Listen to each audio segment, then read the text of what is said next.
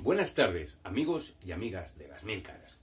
Llevo unos días pensando en qué necesidades, qué cosas eh, nos vienen bien eh, a la gente en general, a las personas con esclerosis múltiple en particular, para sentirnos un poquito mejor. Y una de las cosas, eh, las conclusiones a las que he llegado, a las que hemos llegado en las conversaciones que he tenido con otras personas, es em, que está bien tener cubiertas las necesidades afectivas.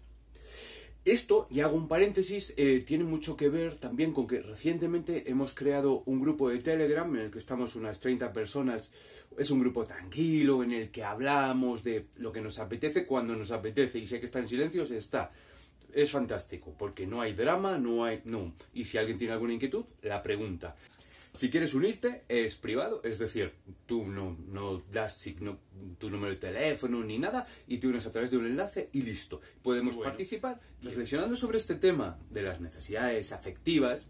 Eh, digamos que uno parte de que, bueno, las personas somos seres sociales y las personas con esclerosis múltiple igual o más, quiero decir, es algo que es innato, que es algo propio de los seres humanos. Luego hay personas, hay gente que en un momento decide eh, ser, eh, estar solo, eh, ser un poco más ermitaño, o que la vida, le, las circunstancias le hacen sentir un poco solo o muy solo.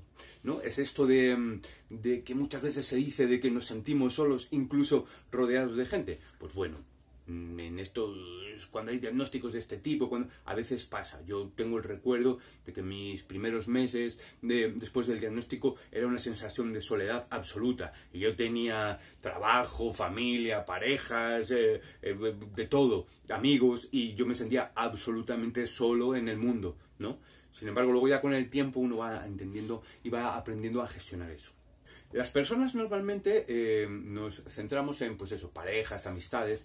Eh, a veces tenemos la suerte de tener cerca a alguna persona eh, que nos, que, que, esté a la altura, que nos apoye en esto, y otras veces no pero que tenemos, eh, tenemos la gran suerte de que en este momento hay redes sociales, podemos contactar con personas a través de, Facebook, a través de, podemos ver estos vídeos, podemos, hay asociaciones, hay asociaciones virtuales como estos de baile de pingüinos que ya hemos hablado, eh, hay un montón de cosas, de posibilidades de contactar con personas para que nadie tenga la necesidad de sentirse solo.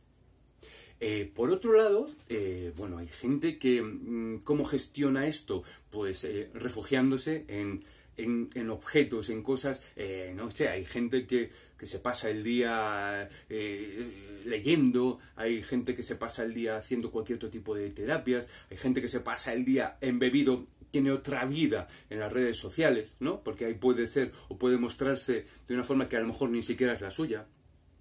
Y luego hay gente que recurre a, sustancias eh, para, bueno, beber mucho, a comer demasiado, eh, tomar drogas. Eh, cada uno gestionamos mm, todas estas cosas, la vida en general, cualquier persona, cada uno la gestionamos a nuestra manera. ¿Qué ocurre? Que hay muchas formas saludables de hacerlo, como relacionarnos de una u otra manera, y hay otras formas que son menos saludables. Y, muy importante, y es, digamos, un poco a donde yo quería llegar. Ah. En esta parte estarían los animales de compañía.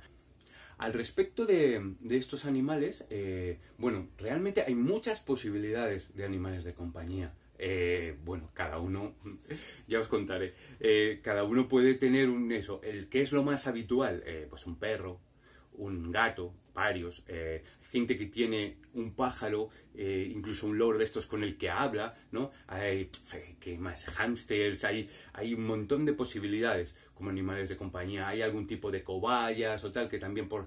Entonces, eh, y eso nos, hacen, nos hace sentir como acompañados. En un momento determinado, uno entabla eh, entabla eh, conversaciones y hacen muchísima compañía, muchísima compañía.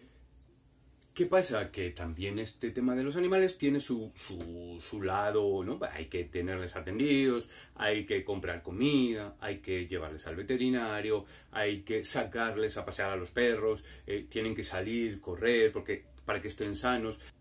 Hacer sus necesidades fuera de casa, eh, si tienes gatos requieren muchísima más limpieza, eh, en fin, todas estas cosas. Pero, pero, lo que yo tengo claro y he hablado con tantísima gente siempre es que en cualquier caso compensa, compensa tener un animal de compañía en casa, sí, que es una muy buena terapia para eso, sí, Em, que yo no soy de estos que dicen, no, es que los animales son mejores que las personas. Bueno, eso es una opinión personal de cada uno y cada uno que piense lo que quiera. Pero que desde luego apoyan, hacen a la gente muy feliz, eh, hacen sentirte em, de una manera diferente, como que algo está contigo. Eso es fantástico. Y es algo que uno puede probar y que eh, puede ajustar a sus necesidades. Yo, por ejemplo, conozco personas que tienen, pues eso, un gato, o dos o tres, bueno, eh, eh, el gato no necesita salir de la casa, el gato se va a acostumbrar un poco a, a cómo tú eres,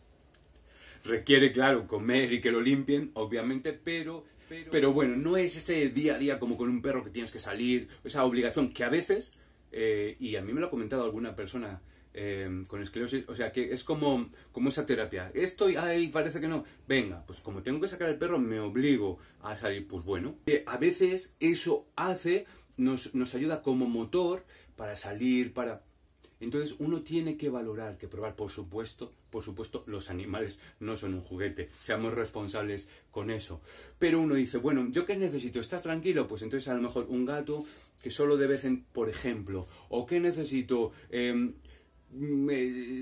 como una energía o necesito una motivación para salir a la calle muchos días, pues eso, tener un perro que además, eh, bueno, pues ayuda a, uno socializar en la calle, cosas así, son distintas opciones. Y luego, obviamente, ajustando a nuestra economía, porque hay animales que son muy caros, eh, la comida, el veterinario, y hay otros que son que, prácticamente se atienden solos, que eso sería fantástico en función de la necesidad de cada uno. Eso sí, eso sí, casi cualquier animal que uno tenga en su casa eh, puede hacernos sentir como, como acompañados, como que tenemos cubierta una necesidad afectiva además de todo lo otro, ¿no? De las personas, de tal, que, podemos tener cubierta una necesidad afectiva muy importante. Es una recomendación y es algo que después de hablarlo con bastantes personas eh, que tienen animales en casa, eh, bueno, siempre valoran, independientemente de,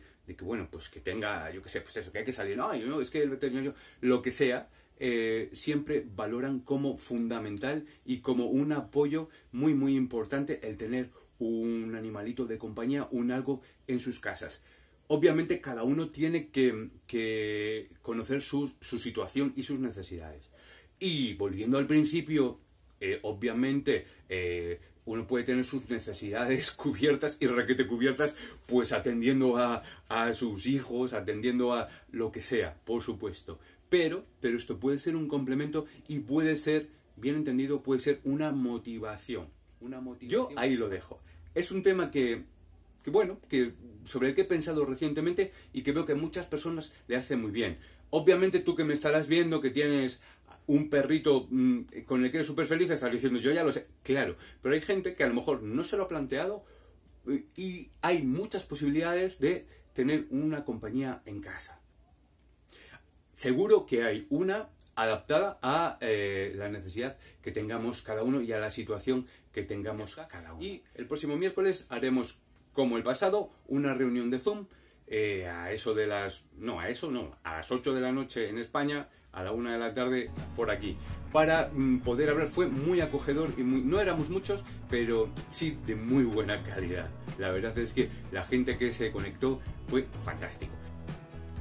Y bueno, hasta aquí el vídeo de hoy. Espero em, que, bueno, que te haya aportado algo, que te haya hecho un poco de compañía también y espero verte la próxima semana. Si te apetece participar en alguna de estas cosas nuevas, fantástico. Espero verte la próxima semana. Muchísimas gracias por estar ahí apoyando este canal. Chao, hasta luego.